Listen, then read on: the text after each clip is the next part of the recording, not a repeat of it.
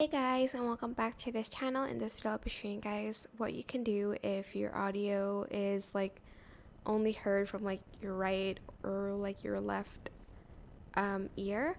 So I'm just going to actually just record myself talking and I'm testing this audio out. Okay, and then I'm just going to simply select the audio and as you can see there's a basics tab here. Then I'm just going to enable channels.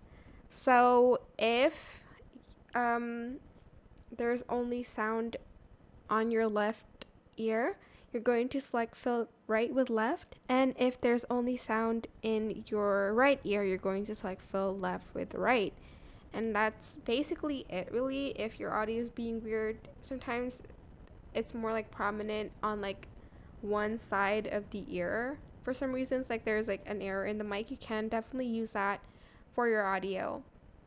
Um, that's it. I hope this tutorial was helpful for you guys. Don't forget to like comment share and also subscribe to this channel if you haven't done that already. If you have any questions just leave it in the comment section down below and i will try my best to answer them all for you guys and if you found this video helpful, please click the thanks button above the description box down below. Thank you so much for watching. Bye!